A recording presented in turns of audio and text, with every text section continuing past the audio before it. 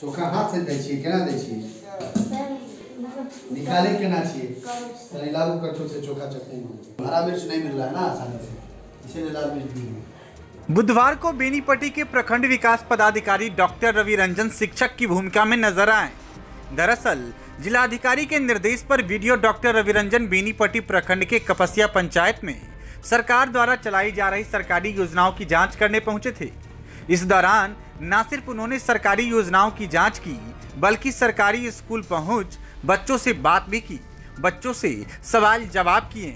साथ ही बच्चों को मिलने वाले मध्यान्ह भोजन भी उन्होंने खाया।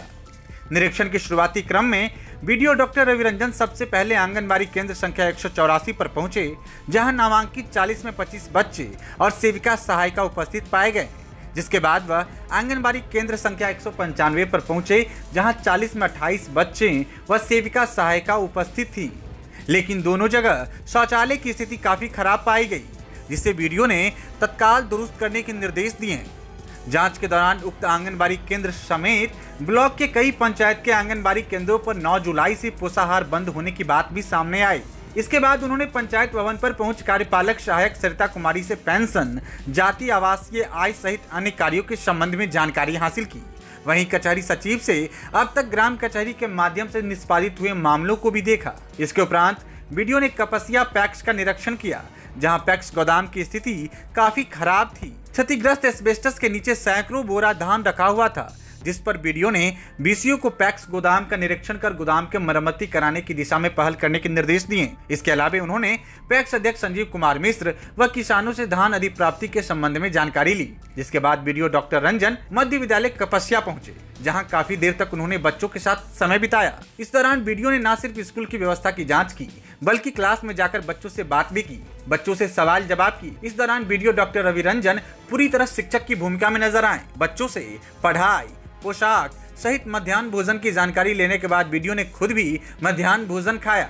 वीडियो ने स्कूल के प्रबंधन व स्कूल की किचन की साफ़ सफ़ाई देख काफ़ी प्रसन्नता ज़ाहिर की। इसके अलावे वीडियो ने सस्टम वित्त आयोग मत से सात लाख बारह हज़ार की लागत से छोटू पत्रकार के घर से पशुपति झा के घर तक निर्मित पीसीसी सड़क और आरडब्ल्यूडी रोड से मोहन ठाकुर के घर तक पाँच लाख पचपन हज़ार की लागत से निर्मित पीसीसी सड़क का भी जायजा लिया। इसके बाद जब वीडियो बिमला देवी के जन वितरण दुकान के जाँच के लिए पहुँचे तो दुकान बंद पाया गया। इस दौरान मौके पर मुखिया कारिसा, पंचायत सचिव नवनीत तिवारी, तकनीकी सहायक आवास सहायक राजस्व कर्मचारी पीआरएस अमित आनंद, सरपंच महेश कुमार शाह, कचहरी सचिव सुनीता देवी सहित अन्य मौजूद रहे।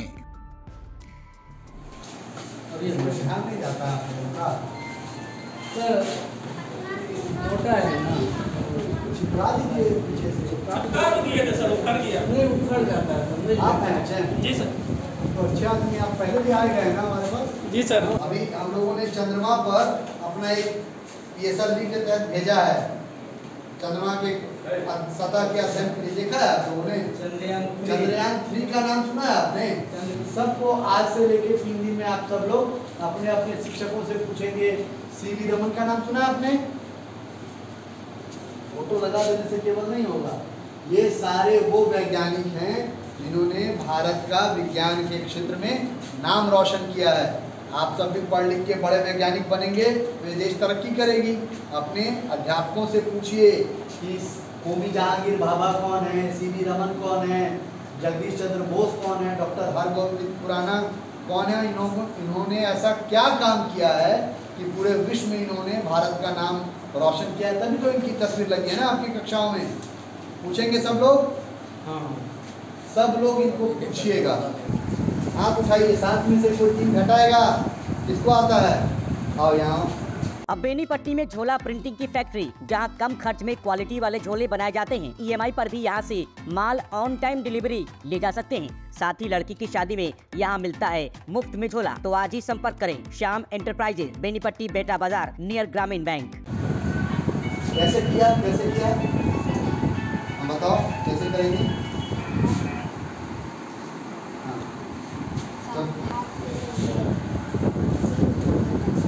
साथ का हाथ कैसे लेंगे?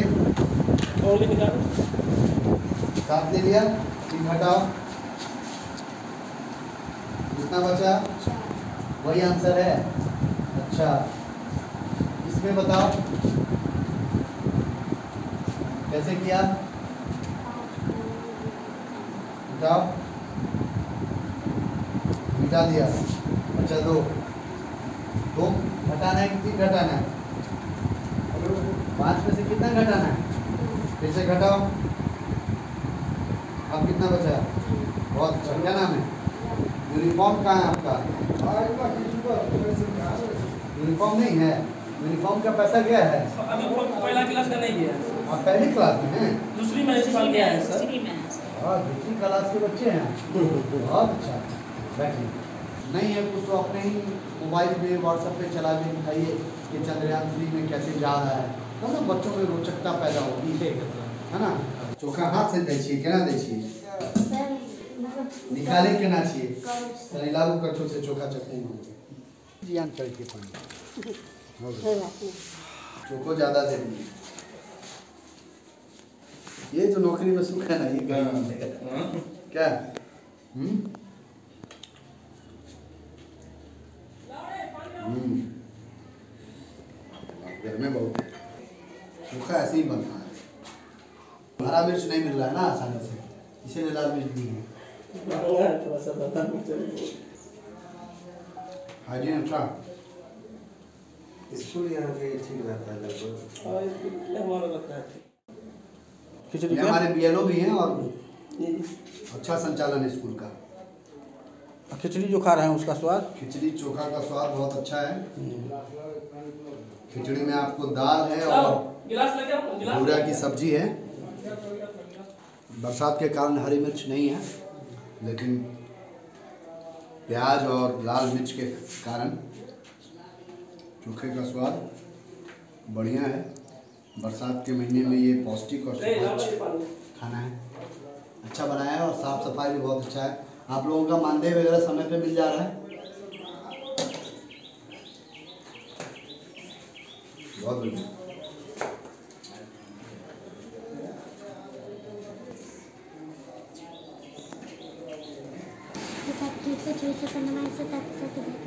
बहुत बढ़िया लेकिन दांत साफ़ नहीं देखें।